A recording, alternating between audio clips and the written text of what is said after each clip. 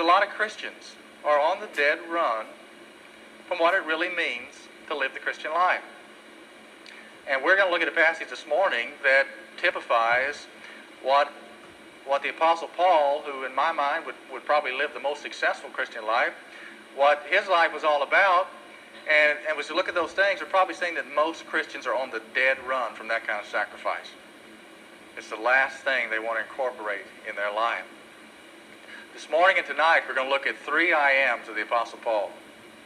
Three things that were true in his life. That should be true in our life as well. If you ever go car shopping, if you've got the money to do those, those kinds of things, and you go new car shopping, you will see that as you're browsing through and looking at the, uh, the uh, tremendous paint jobs and the brand new uh, uh ways the cars are, are made now as far as their design, you notice that on the window there's always a sticker. And this sticker will have a division in it, and that division will be between standard equipment and optional equipment. And the standard things would be uh, things that you, you're going to need on any car, and then the optional things are maybe a CD player or a, uh, you know, I'm not sure what option. I haven't been new car shopping in a long, long time, not since I had kids, but it uh, would be things that would be new and fresh and unique for the car market today. Well, I think Christians want to put some things that we see in the life of the Apostle Paul, in the life of other great Christians, in the optional col- column. And people like Paul, like Jesus, people that are great leaders today would say, no, they're not optional, they're standard. They should be in every Christian's life. They should not be unique to the Billy Graham or unique to the Apostle Paul or unique to the Daniel or the Joseph, but they're meant to be a part of every Christian's life. And those three things that the Apostle Paul recognized that we should recognize and we should set our life by, the three I ams are I am a debtor.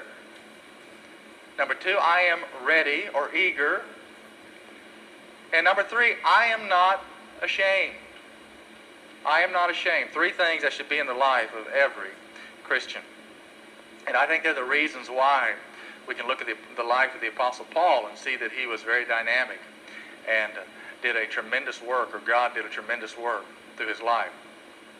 Now, if you look in the verses we're going to look at today, which verse starts in verse 14, it says, I am under obligation, both to the Greeks and the barbarians, both to the wise and to the foolish.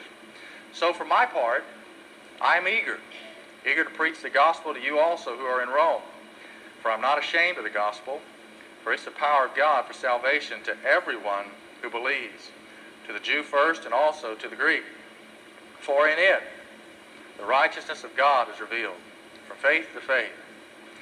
As it is written, the righteous man shall live by faith. Now that last, that last phrase there, the last part of verse 17, is that quote that captured the heart of Martin Luther that captured the heart of Augustine and John Wesley. People who had committed themselves to try to please God by the way they lived and didn't recognize that pleasing God was all about the righteousness that God provides through his Son, Jesus Christ. And the just man, if you're going to be right, if you're going to be just before God, that it has to be an imputed righteousness, which means it comes from outside. It's not something you develop in your own life. In fact, the word for just or righteous, the righteous man, is in the Greek, it has a, an ending that does not allow it to be earned by the, by the individual. The very ending itself was an ending that was set apart for something that was given or provided for you and then given to you from an outside source. So the very language itself says that we cannot live by the law so well that God says you deserve heaven. Every person falls short. Every person is recognized a sinner. And that's a lot of what the book of Romans is. We're going to see that, number one, God says, well, the, the Gentiles, those without God, that are, uh, that are without God's word, they're sinners before God. We'd all agree about that. Then he goes on to say, well, the religious people are, are sinners before God. Those who have God's word, those who know, know God's will, even they fall short. And that's what, what we find all through the first part of the book of Romans is God setting that case to the Apostle Paul that every person is a sinner. So when we get to Romans chapter 3, it'll say all have sinned and all have fallen short of the glory of God. So we need to recognize who we are, and then we need to recognize what we are sharing, and then I want to share with you what these three I ams are. But we are sharing the gospel. Paul says, I am not ashamed of the gospel. It's, it's the word euangelion, which sounds a lot like evangelist. It's the word good news. And that was a common word in Paul's day. He didn't just, just make up some neat word that, that would fit just in this setting and that alone. It was a word that was used all over the, uh, the Greek language where it was spoken, which is all through the Roman Empire. And it was a word that would mean not just news that was pleasant, but news that was outstanding, dynamic. If, if we won a war and you came home, the news would be the war is over. That would be euangelion. Exciting, dynamic news. If a couple had a baby, they would, they would, that would be euangelion. When they would say it's a boy, that would be good news. Now, in my case, it was it's a boy, it's a girl, it's a boy, it's a boy, it's a boy, it's a girl. And then Lynn finally said it's enough. And we stopped right there. But all those were euangelion. Now, if, if I got the news again, I'm not sure if it'd be euangelion again, but I mean, we'd, we'd deal with it and assume it was.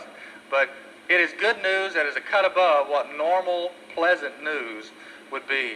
And I think in the life of this church, it might be the debt is paid. That would be euangelion. That would be especially good news to hear. Well, you know, God gave this good news for the world to hear. And if God wanted to, God could have took uh, the neatest looking cloud and written it across that cloud for everybody in the world who could read to look up there and to read the gospel, the good news, the euangelion. But God didn't do it that way. God gave it to the church and said, you go tell them. You go make this good news known. Now, usually we're excited about sharing good news, and you got news to that level of being great. You can't wait to tell as many people as, as you can find the good news. And so it's not like God's putting this big burden upon us. He's given us this great message to share with the world. But his chosen vehicle is the church. And Paul recognized that he as a leader in the church was part of that chosen vehicle. Individually, he was chosen as part, as being, as well as being part of the body of Christ. So, who we are, we're the righteous, made that way because of what Christ has accomplished for us, and we have been given this great news, this only hope that the world has to share with them. And, and in reaction to that, Paul says three things about himself. He says, number one, I am a debtor, I am ready, and I am not ashamed. When we capture the essence of those three things, it'll take us to a brand new level in our relationship with Jesus Christ.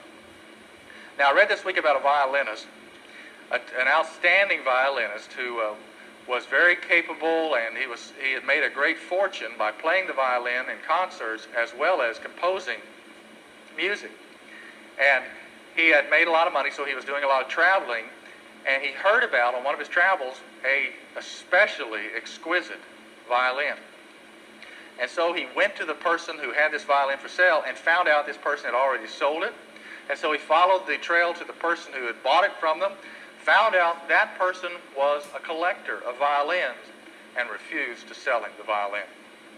And so this man, after conversing with this collector, was, was getting up and walking out, and he said, Well, can I ask one favor? He said, Since this violin is never really going to be played again, and it's going to be kind of collector's item, could I play it one last time before it is committed to silence? And his collector allowed him to do that, and this master of the violin picked it up and played that violin in such a way that it stirred the heart of this new owner. And after he's done, the new owner said to him, You must have that violin. The world must hear that violin, and I will sell it to you. You know, our life can be put away to the sidelines. It can be lived out with our own agenda. But you know, if you want the world to really be impacted, our life has to be in the hand of the Master.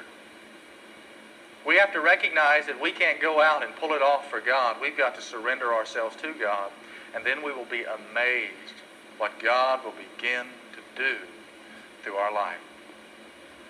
To make that kind of decision, number one, we have to commit ourselves to being a debtor. Recognize that that is already who God has made us to be. I am a debtor. Verse 1, Paul recognized I am a bondservant. And then in verse 14, he says, I am under obligation, both to Greek and barbarians, both to the wise and to the foolish. Now, in, in our day, we understand what debt is. But most of us are in debt to Visa or MasterCard or Discover Card or whatever other ones we are. We recognize what debt is, what owing something and being responsible to pay on that obligation is. But Paul was saying we have an obligation as the body of Christ in, in probably three areas. Number one, we've got an obligation to Jesus Christ. Now, the Bible says we have been bought with a price, that we are no longer our own. Paul wrote to the Galatian church, I have been crucified with Christ. I am no longer my own. He also said to the Ephesian church, We are his workmanship, created in Christ Jesus for good works. We like to sing hymns like Jesus paid it all. All to him I owe. Or love so amazing, so divine, demands my all, my soul, my, my life, my soul, my all. We like to sing songs like that, but are we recognizing that is really true? That we do have an obligation, a debt. We do owe it all to Jesus Christ. So I think Paul would say, number one, that we have a debt to Jesus Christ. I think number two, he would say we have a debt to the heroes of the past and present. To the heroes of the past and present. If you look in Hebrews chapter 11, you have this great long list of people that were faithful. A lot of them made mistakes, but eventually they got their lives in a place, in a setting where God could use them in a tremendous way. Hebrews 12 points back to 11 and says, Since we have this great cloud of witnesses, then let us run the race with endurance. Since they have gone before us and been faithful, it's our turn to be faithful as well. Now imagine yourself watching the United States Olympic team running in the relay. And they get a little bit behind, and then the third leg of that four-legged relay grabs that baton, runs his heart out, gets them back in the lead right in front of the Russians and the Chinese, hands it off to the fourth leg, and the fourth leg takes it and just kind of strolls while everybody's passing him by. I think every American would stand up in ire, anger, to see somebody take the baton and behave that way. You know, I just wonder what we are doing with the gospel that's been handed off to our generation. You know, I wonder if we are kind of strolling with it. If we've allowed all the distractions around us to kind of take our eyes off the race. I wonder if that cloud of witnesses is just waiting for us to get to heaven so they can give us what's for. Because we haven't been faithful, recognizing the debt we owe to them. They have been so faithful in transferring this opportunity to us. And yet many of us are distracted from the race. And then we have the heroes of the presence. We're surrounded by those around us who are very faithful, who are doing the job, who are out on the playing field, committed to the task. I think it's interesting that, that especially some high school teams, and I guess some college as well, they will suit up maybe over 100 players on a football team. And yet only 11 are out there at any particular time, and probably in the, the scope of the game, maybe uh, 30 of them will ever participate in the game, while the rest of them just kind of sit there and, and watch the entire game from the sidelines or from the bench. You know, I just wonder if, if at a point in time, how much it would surprise some of those players if in the middle of the game the coach turned around and said, hey, Jackson, get in the game. And Jackson had never been in the game before. And suddenly the coach is saying, you get in the game. And I could just hear Jackson, if he was like the, the modern church, he might say, well, I'd rather not. Now, that's not my gift, coach. You know, I'd rather wait for a play that I, I like a little better. You know, why don't you let the younger players uh, play the game instead of me? I've gotten comfortable over here on the bench, on the sideline. I, I like it over here by the, uh, the heater or the cooler the big fan. You know, I'm more comfortable over here. Why don't you let somebody else? I like sitting back here and kind of watching and commenting on the game. I'd rather not get out there and play myself. The coach is saying, get in the game. That's the reason you put the suit on. That's the reason you're, you're here, is because there's a game going on. And I just wonder if God is saying to a lot in the church today, get in the game. There's a need. There's a need in our Sunday school. There's a need in our Awana. There's a need in our outreach program. There's a need here, a need here. Get in the game. We're sitting back saying, you know, I've gotten awful comfortable to just kind of watching the game. I like wearing the uniform. I like being called by the team's uh, title, but I'd rather not step out on the field. Paul is saying we have an obligation to be in the game, an obligation to Jesus Christ, an obligation to the heroes of the past and heroes of the present as well. And then he would probably say we have a, a, a debt or an obligation to the lost as well. Here he describes them as Greeks and barbarians, the wise and the foolish. That, in Paul's language of his day, that covered everybody. That covered both sides of the track. That covered the whole spectrum of the uh, uh, economic field. That covered both the, uh, the high IQs and maybe the, the simpler minded. That covered everybody. What he was saying was we have a debt that doesn't draw, draw any lines anywhere. To every person, no matter what their difference is from us, we have an obligation and a debt to reach out to them. Know, I heard about a, a, a college professor who went to see a rich rancher. They both were a part of the same church, and he went to this rancher to ask if he could help support the college. And this college was a Christian college that was preparing young men and women for, for different parts of, of ministry. And this rich rancher listened to this college professor and finally just made a simple statement. He said, You know, it's really none of my concern. The college professor left. Being a part of the same church, they were they came back together at a particular church gathering, and the college professor asked if he could talk to him again and just share a story. And the story he shared with him was of a wagon train full of immigrants that were coming across uh, America, headed toward California from the East Coast, and they hit the Great American Desert. Being immigrants, they didn't expect it. They weren't prepared for it. They got a few days into it. They were out of water. They're running out of water. Very thirsty, very hot. The uh, uh, people were getting sick. The children were crying. The women were overwhelmed. And, and finally, the wagon master stopped the wagon. He selected four men. He gave them four fresh horses, and he sent them off in four directions. One went north, one went south, one went east, and one went west. They were to go and to find water. Well, the one that went north went for about two days, and he saw some trees. He rode over to the trees, and there he found a little body of water about the size of an average house. He jumped off his horse. He dove in the water. He drank the water. His horse drank the water. He played in the water. And then finally, after he'd filled up everything that he had with him, full of water, he got back on his horse, was starting to head back south to the wagon train, and he had a thought. His thought was, you know, I have everything I need. Why should I get involved in that situation? And he turned his horse toward California, and off he went. And this college professor said, What would you do? He said to this rich rancher, What would you do with a man like that. The rancher was angry and said, I would take him and tie him to a wagon wheel and I would horsewhip him within an inch of his life. Then the professor said, What would you do with someone who had the water of life and refused to share it? And finally, it connected.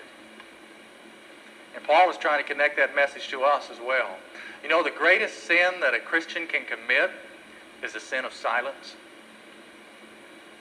The greatest sin a Christian can commit is the sin of silence. All through the New Testament, we are commanded repeatedly to get out into the world and be witnesses. Acts 1, 1 8 says that is the very reason the Holy Spirit comes into to indwell our lives that we might be witnesses to the very end of the world. That is the last thing Jesus said was the Great Commission to go into the world and to be witnesses, to make disciples, to baptize them, teaching them all that I've commanded you. That is why we, we have been left here. You know, a Christian who won't share their faith is no better than a teacher who won't teach, or a soldier who won't fight, or a fireman who won't go to a fire. They're missing the very purpose for their existence. You know, some years ago, we were living in Kansas City, and the Gulf War broke out. And lo and behold, there was a lady in, in the Kansas side of Kansas City who was a doctor trained by the military who refused to go and serve in the Gulf War. And it was a big big news story, probably made it down here, that she had been trained, was getting all the benefits, but when it came really time to step onto the field to do what she had been given the task to do, she refused to do it. Went through the court system, and, and can you really just kind of take all the benefits, and then when the, the, the time comes to really respond, just say, well, I don't want to do it. I'd rather not. I think a lot of people in the church are trying to pull that off as well. I want to go to heaven. I want to have a good reputation. I don't really want to get involved. You know, the fanatics, those are the ones that run that race with all their vigor. I'd kind of like to just enjoy the race. Paul is saying we have a responsibility. 1 Corinthians 9:16 he says, "Yet when I preach the gospel, I cannot boast, for I am compelled to preach. Woe is me if I do not preach the gospel." He recognized that defined who he was. The second thing, real quickly, Paul said, Not only I am a debtor, but I am ready. Thus, for my part, I am eager to preach the gospel to you also who are in Rome. You know, here we have uh, all through Scripture telling us to have our feet shod with the preparation of the gospel. It tells us to be ready to make a defense for the hope that lies within us. And I just wonder if somebody came up to you and said, You know, I'm struggling in my life. And I feel like I need God in my life. What does it mean to be a Christian? How do I become a Christian? How would you respond to that? Are you ready? Are you prepared? Are you eager to share this good news that you've been given? Or would you say to them, you know, maybe you can come to our church next week and you can sit down with my Sunday school teacher or sit down with our, our pastor or maybe one of our deacons could take time. Maybe I'll have somebody come by your house or are you ready? You know, the news is so great and so essential that it can't be passed off for another time. We are to be ready to make a defense at a moment's notice. Now, I might ask you also this morning, are you eager? You may be ready. You may have been through every training that you can imagine. You may have been through Evangelism Explosion, through Master Life, through, through every possible thing. You may have served in the church a lot of years, but as you sit here today, you're not eager. You're not eager. You've lost your passion somewhere. Yeah, you're ready. You're trained, probably more than anybody else in the church. But are you eager? Are you excited to hear God's voice and to respond, to jump when He calls? And a third thing to realize, I guess, about, about being ready and eager is that being a witness in the Christian sense means also being a part of the evidence. You go to a court trial and you have the witness who give their testimony, the witnesses who give their testimony. And then you also have the evidence which is meant to substantiate the testimony of the witness. And in the life of a Christian, both are encased there we are the evidence to the testimony or the witness that we're giving. And if our life is not consistent with the witness we are giving, then it would be like a court case saying, well, the evidence says this and the testimony says that. You can imagine how the jury would be confused. And is your life consistent with the testimony that the gospel gives of Jesus Christ coming in and transforming, renewing a mind, and changing a life? Person who is eager, who is ready to share, is a person who has a platform to share from. And that is to say, the power of the gospel can be evident in the way it's changed my life as well. You know, the issue with most people who sit in a church pew from Sunday to Sunday, for most people, is that they have a higher affection for, for themselves, for their time or their money or their reputation than they do for God and for His will. When it, when it comes down to it, you might say it this way I don't give because I love my money more than I love my lost souls. I don't serve because I love my time more than I love lost souls. I don't. I, I love a sin maybe more than I love lost souls. I love that TV program more than I love lost souls. And those aren't evidences of a person having a changed life. I think the bottom line issue is that we are more in love with other things than the will of God, than our relationship with God, and that explains why we are the people that we are. We need to be sobered up about where our life is and recognize the changes that need to be made. In World War II, the people who packed parachutes, I heard that they had a, a success uh, level of 19 out of 20, which, you know, that meant one out of 20 didn't open. And that was not acceptable. And the manager tried to figure out how to fix that. And the way he fixed it was he had those who packed the parachutes test their packing job. And amazingly so, the level went from, from 19 out of 20 all the way up to 100% success rate. Because people put their lives on the line. And we need to get sobered up about where our lives are. Paul said, I count my life not as dear to myself. I count my life not as dear to myself. Could you imagine that being said in America today? That is the very opposite of the American slogan.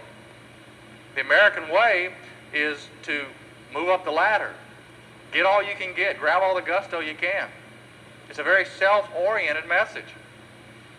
It's the very opposite of the, of the, uh, of the message of the gospel. Recognizing who we are in Christ and what we owe to a lost world. There was a young girl that was very sick, and this young girl was so desperately sick that, that uh, she would certainly die if she did not get a transfusion of blood. Well, the transfusion of blood was difficult because she had a very, a very rare type of blood. In fact, as they did a search for somebody with that blood, they found nobody except her younger brother. They had not wanted to even include him as a candidate because of his age. But when it came, when they realized that she had no other hope, they finally talked to the younger boy and said, you know, your sister's very sick. She's desperately sick. Her blood is sick. If she doesn't get some new blood in her, then, then she is, she's not going to survive. Well, this little boy listened to this. And he took a long time mulling over it. And then finally he said, well, he was willing to do it. Well, the day came for him to to be able to transfuse some, uh, you know, not all of his blood, obviously, but enough to kind of sustain her and get her back on the right track. Came. They prepared them both, put them on the table. He's very quiet. The young boy just kind of stared at the, the ceiling, didn't say a word. Finally, after the transfusion was going and it seemed like it had taken a little while, the boy motioned for his dad to come over to him. His dad came over to him. The boy looked up at the dad and said, Dad, when do I die? When do I die? In his mind, he was giving his sister his blood, and that would mean that he would be no longer. But he had come to the decision of being willing to do that. A very costly decision. You know, and it was a hard decision for him. But you know, being a, a Christian is a big decision. Becoming a Christian means total cost. It's meant to be a hard decision. It's not going to, I'm going to add Jesus to my life and everything will be, be wonderful. It means you are surrendering your life. It demands your all.